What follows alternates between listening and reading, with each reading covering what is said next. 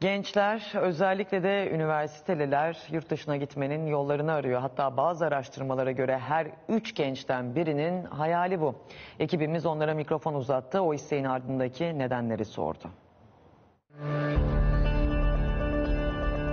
Yurt dışında yaşamak gibi bir hayaliniz var mı? Tabii ki var. Bütün öğrencilerin özellikle bu hayali. Yurt dışına kaçmayı planlıyorum. Her üç gençten biri yurt dışına çıkmak istiyor. Kendi kuzenimden biliyorum. Bir hak payı vardır herhalde.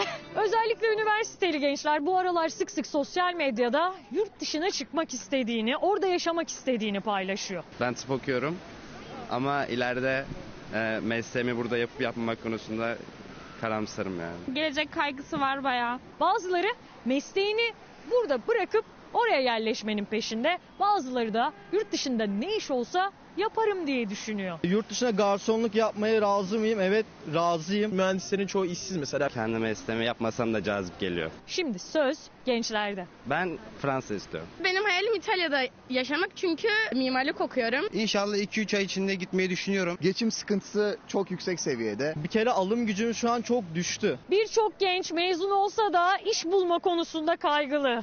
Pek çoğu da buradaki geçim derdinden yakınıyor. İstediğimiz yemeği yiyemiyoruz. Ev kiraları çok yüksek. Çay bile 15 lira normal kafelerde. Bir tatlı bir yemektesin 100 lira zaten cepten gidiyor. Ben zaten yurt dışında yaşıyorum. Nerede? İsviçre'de. Avusturya, Almanya'dan. Aylıklarımız iyi. Orada rahat bir hayat aslında buraya göre. okumak için falan hani her zaman kapın açık.